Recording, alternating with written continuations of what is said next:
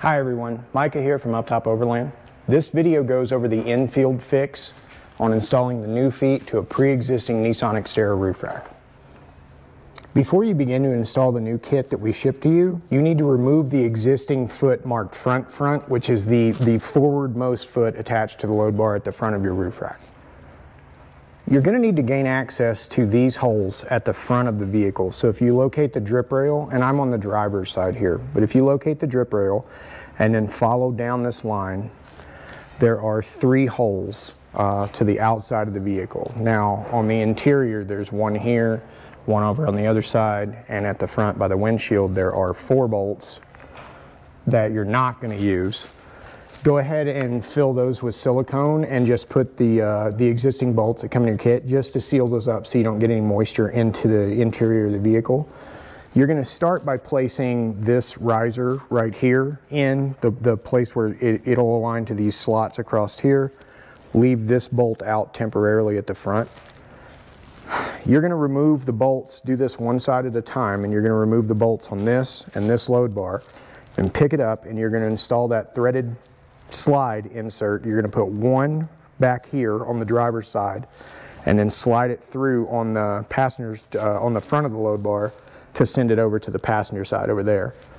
On the front load bar, you're going to take these two bolts out, lift this load bar up, and you're going to install the threaded insert that's two holes and put both of them on the front leading slot of this load bar. One's going to sit over here, you're going to push the other one to the other side, and then put these bolts back in.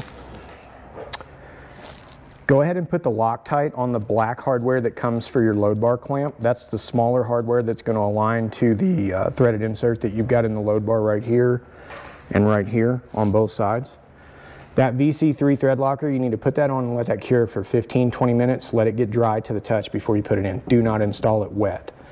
Once it's ready to put in, go ahead and install it into here use a 5 30 seconds Allen wrench and start all the hardware, but don't fully tighten it. You still want to be able to slide this back and forth.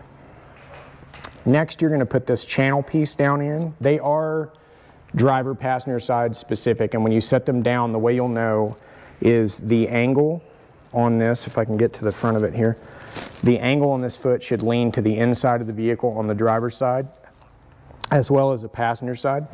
And it has a little kick on it, a tongue at the front that also points towards the inside of the vehicle.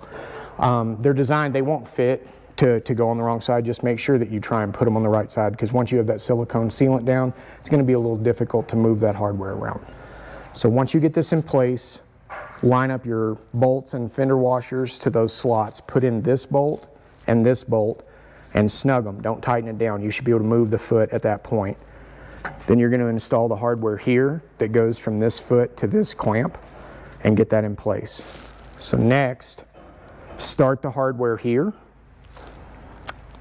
Put this bracket and align it to the slot over top of this bracket here and start that third bolt. At that point, you should have this piece attached to the truck. You should have the load bar clamp in. This hardware is in place. You have the bolts here. One thing that's important to mention is that this back bracket is 3 16ths of an inch, so it won't have a lock washer. But up here at the front, this bracket is eighth inch, so you'll have your bolt, lock washer, and flat washer. Once you have all that situated and all that hardware started, tighten these three bolts first to pull everything down to the roof. Then tighten these two bolts. Finally, these three, and then tighten these two bolts. That's the order that you go. So you, you mount this permanently, then you mount this one, then this one, and then that. And then repeat the process on the other side.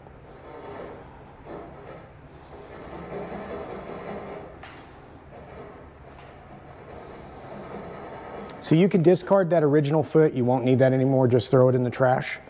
Once the new foot system is installed at the front of the rack on both sides, you'll see a huge difference in the rigidity across the front of the vehicle you don't have to modify the, the feet going towards the rear. Those are going to stay in the same factory locations. Um, but if you watch here, when we pull on this, we can move the entire vehicle from here with almost no flex from the roof rack itself. So complete that upgrade and you guys will be ready to rock and roll.